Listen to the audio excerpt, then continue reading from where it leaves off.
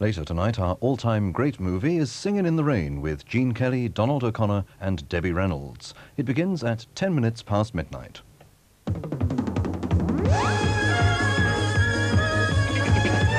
Comedy is part of the world of entertainment on BBC One. On Saturday, Wayne Little and Bonnie Large present an irreverent look at the world of dance.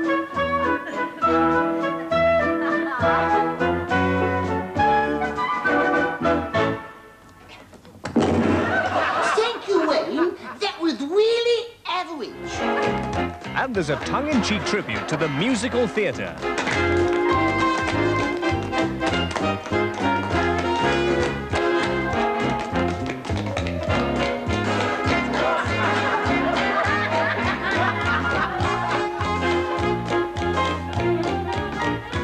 Little and Large on Saturday at 6.40.